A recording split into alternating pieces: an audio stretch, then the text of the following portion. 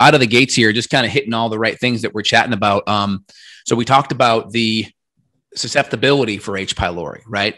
H. pylori is going to be one of these things that may be a problem in people that have symptoms. So if you have symptoms, if you have issues, we, we want to look at that out of the gates for sure. I think that's going to be a top priority. Um, anything else you want to highlight regarding other infections? I know SIBO is another one that could potentially affect digestibility in your stomach. Um, SIBO is going to hit more of your small intestine, but some of that bacteria overgrowth can move its way and migrate to the stomach as well, to the gastric area. Yeah, well, I think H. pylori is probably the biggest smoking gun, but like you and I talk about many times, you can have permission to have multiple things wrong with you, right? You said that. So it's funny because we'll see candida, we'll see bacteria, we'll see H. pylori, which is a bacteria, we'll see parasites, we'll see worms. So the cool thing is when we come in with the testing, we're often using full spectrum herbs. And what I mean by that is we're going to try to knock out candida, bacterial overgrowth, the H. pylori, the parasites.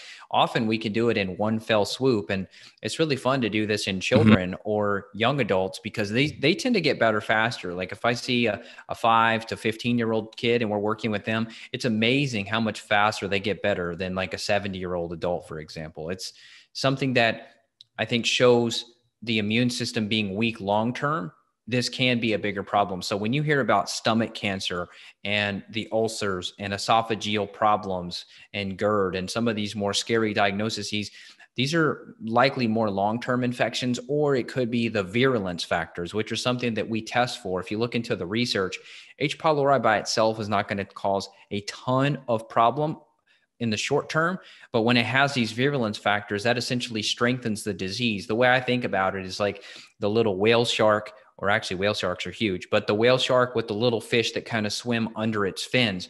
To me, those are the virulence factors. They kind of strengthen the main host there. They're allowing the H. pylori to thrive. They're allowing that shark to do what he needs to do. They're helping to maybe eat parasites off of the shark. So they're kind of helping him hang around. And that's how I think of these virulence factors. It doesn't change the protocol much, but when we see a ton of inflammation or when we see a ton of gut damage, it's good to be able to link that back to a stool test.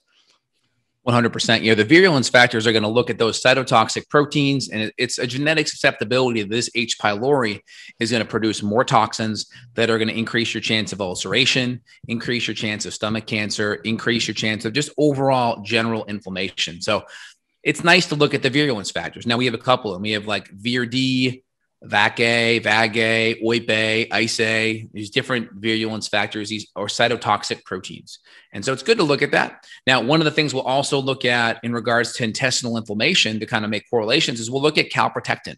Calprotectin is another systemic marker that's excellent to look at because it plays a major role with inflammation in the gut as well. And so that's a really good one. So it's like a C reactive protein for your gut. CRP is basically an inflammatory marker for the body.